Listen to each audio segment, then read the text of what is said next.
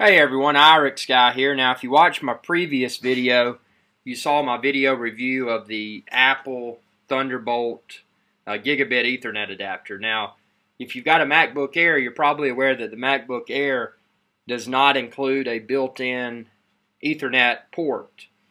So if you're going to connect your MacBook Air to anything aside from a wireless network, you're going to need a network adapter. Now fortunately the uh, the Apple Thunderbolt uh, gigabit Ethernet adapter is very portable, as you can see in my previous video, and it's also very fast and affordable. So what I'm going to do now, I've got, uh, we're filming this from my MacBook Air, and I've got the uh, Thunderbolt network connection connected. I've got my wireless connection disabled, and I'm running this through my home network uh, on my Rosewill gigabit Ethernet switch. Now you can check out my other video on my YouTube channel to see which switch I'm using. Uh, but I wanted to post this video to give everyone a real world representation of how fast the uh, Apple gigabit Thunderbolt Ethernet adapter is. So let's go into this folder, uh, transfer test folder. Uh, this folder resides on my desktop iMac.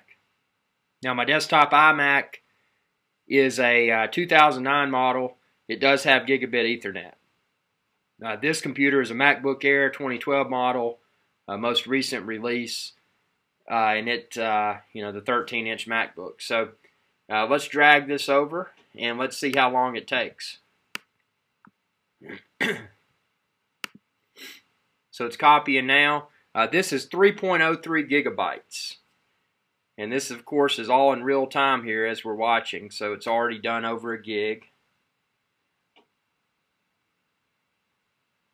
I mean, you, you would think that gigabit Ethernet would mean every second a gigabyte would pass, uh, but that's not the that's not necessarily the case. I mean, possibly if uh, if someone had a very high end enterprise type network, they would likely get uh, faster transmission rates.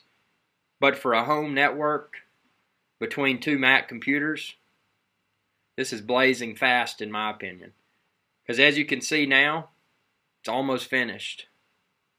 So boom. That's how long it took to take over, to transfer over a little bit over 3 gigs over gigabit Ethernet. So uh, feel free to check out my other videos. I've got a lot of, uh, of MacBook Air videos. I'm going to continue to add some more. Uh, also, my Final Cut Pro videos. If you're into uh, Final Cut Pro, feel free to check those out. And subscribe. It's uh, youtube.com forward slash IRIX guy. Y'all have a good day. Oh, and one thing I failed to mention this MacBook Air has 8, 8 gigs of memory and the 128 uh, gig SSD. And it's the 1. Point, uh, 1.9 gigahertz. So, uh, is it 1.9 or 1.8? I think it's 1.9. It's not the fastest one. Uh, thanks for tuning in.